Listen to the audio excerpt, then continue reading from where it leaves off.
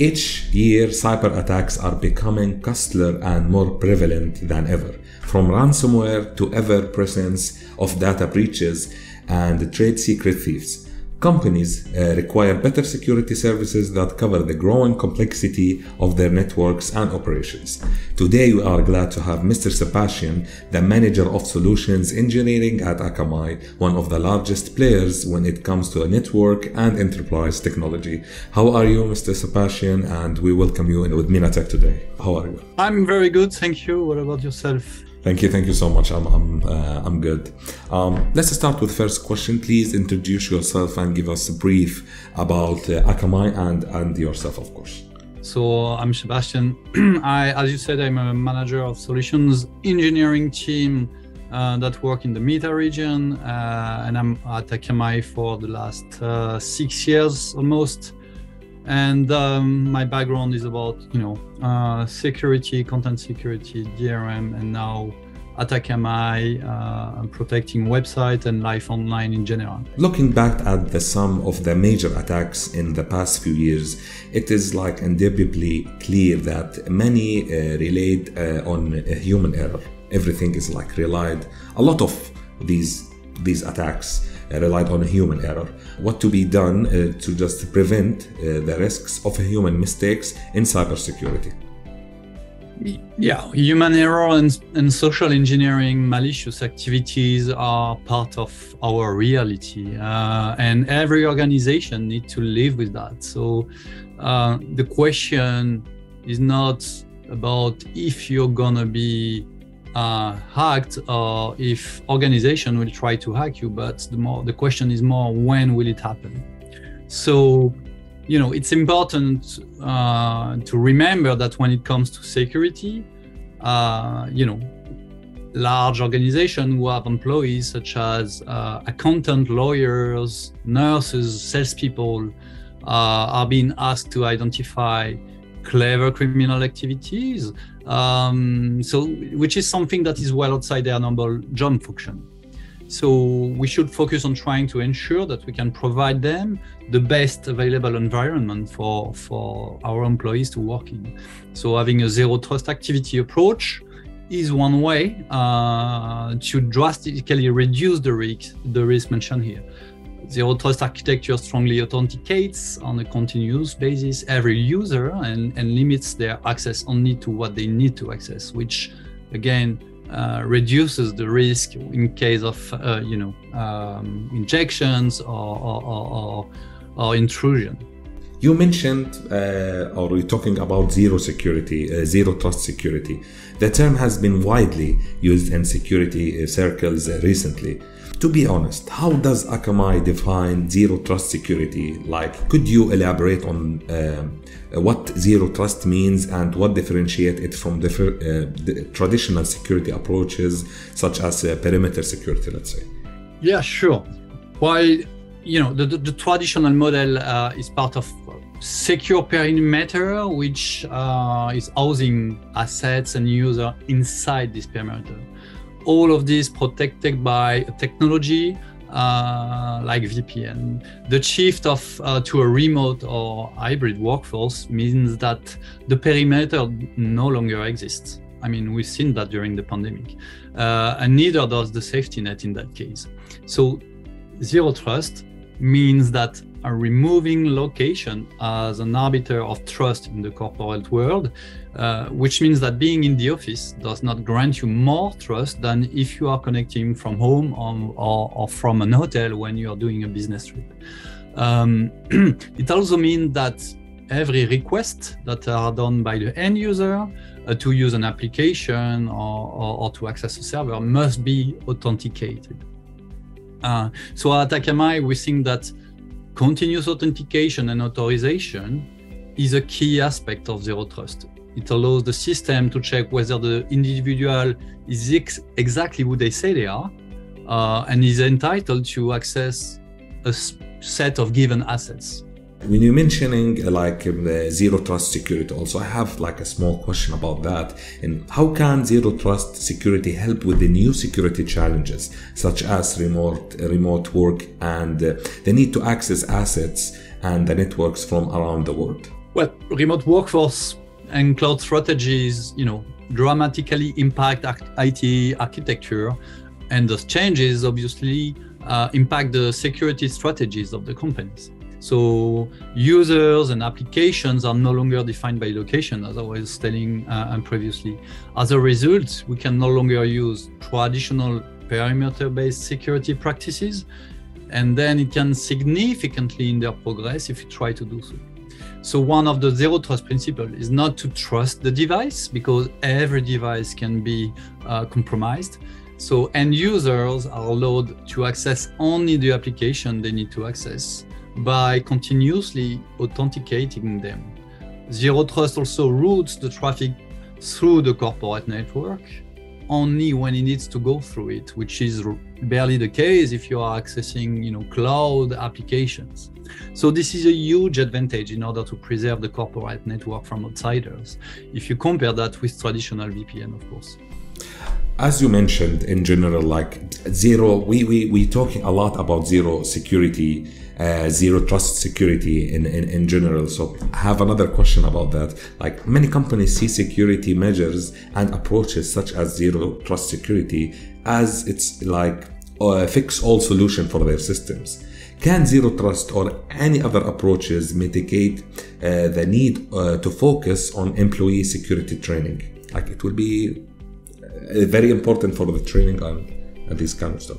Well, you know, uh, training is important, but you know, and, zero trust is not you know ripping out everything, all the system you invested in uh, in the past year and replacing that with a shiny new toy, and then you know in two years from now, there, when there will be a new trend, you will throw that in the basket as well. It's, not about that. Training uh, zero trust is, is my mindset to to adopt, um, and training employees is also a key factor, as I was saying, to that will help companies to protect their perimeter, to protect their infrastructure. But you know, a one-hour training session every six months is not really going to move the needles in terms of uh, effective detection of malicious activity. And I, I told before as well that um, um, training a lawyer, or nurse, or, or, or doctor on IT risk uh, you know, is challenging uh, because it's not the core of their business. So the first key to understand is where are your assets, your data, your application, and, and the platform and users. Um, it is essential to know exactly what you have and to put the tools in place to make sure that uh, uh, you know what your user need to access, what application they need, and what data you are trying to control. Um, so uh, consider what you already have in order to build this zero trust approach. Uh, many tools and controls you know that are already existing can be used to to, to build your zero trust approach. Um, for example, IDP, SSO, endpoint management, uh, everything you know all, all these tools are already existing so that will help you identify those uh, movement within the infrastructure that you will need to secure. Uh, and, and, and, and other systems like the Trust solution that are proposed on the market will um, enforce that on top of what is already already existing. With the security landscape getting more complicated by the day, is it uh, still possible for the large organization to rely only on internal security terms or a single security solutions provider. What do you have in mind in that? On that? Yeah, you know, there are so many components at stake uh, in, in, a large organization or even in a medium-sized organization, and and if you take that into account, each and every organization have a different architecture, a different infrastructure, because of their own constraint, because of the type of their business. So uh, you're right to mention that uh, security architecture and constraints of a retailer, for example, with hundreds of retail stores, are not the same than a pure player with uh, three offices location and one data center for infrastructure. It's not. It's completely different. So. Um, uh, and for a large retailer with hundreds of shops, uh, in order to understand, you know, to map their assets, to know what the, the, the, user need to access, which machine they need to access, what are the uh, um, the workflow between end user and server. is a big challenge for the security team. If you have only one team that take that has this mission to uh, identify your workflow uh, with I don't know hundreds of thousands of employees uh, to understand how they are working. I mean, it's it's a five-year project. So uh, zero trust solutions that are proposed on the market allow business teams to set their own access rules to their own teammates and partners. And uh, in that way, implementations are faster, more agile, and closer to the need of the field. So that that's also a way why uh, zero trust systems that are on the market um, are, are, allowing large organizations to ease the implementation of such uh, an approach. As we all currently know, Uber was recently hacked using relatively simple methods, let's say, that allowed a sole, uh, a sole attacker uh, to gain admin privilege to multiple systems in the company. Such an incident can be uh, like, let's say, devastating for most companies.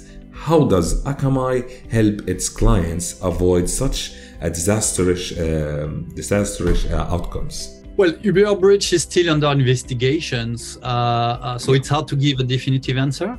Uh, what we know today is is that uh, the hackers succeeded to get Uber contractors' credentials, uh, mm-hmm. either through password stealing malware or on the dark web. We don't know that yet. Well, thanks God, the, the hacker has been arrested by the police yesterday or yeah. today. Um, but still, um, this hack is will will give the industry a lot of knowledge and a lot of learning. Uh, um, so, but still, you know, uh, zero trust is uh, one of the key uh, approach that could have maybe not avoided this hack, but at least minimized the scale of this hack. So, um, uh, but you know, zero trust policy is multifold, uh, each one being complementary to one another. So, one approach, you know, at Akamai typically aims at securing infrastructure against malwares uh, by controlling, you know, north-south access from employees on suspicious websites through uh, a secure internet access solution, for example. Um, a comp- complementary approach is the focus on least privilege and how to reduce the risk of compromise by only allowing access to a limited number of applications and not the entire network. So this is a fundamental first step that takes a lot of the risk out of your network and gets to one of the key elements of zero trust. It ultimately authorizes only a defined list of lateral movement or also known as east-west movement.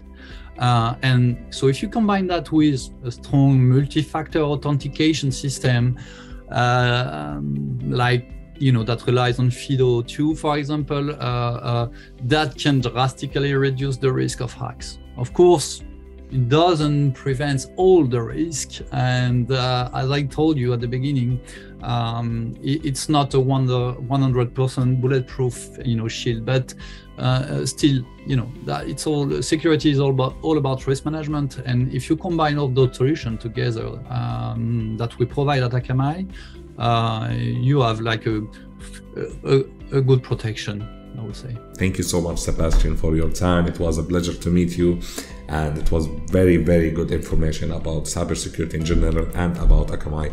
Thank you so much. No problem. Uh, anytime at your disposal to, to continue the discussion. Of course. Thank you so much. Thank you. Bye bye. Bye bye.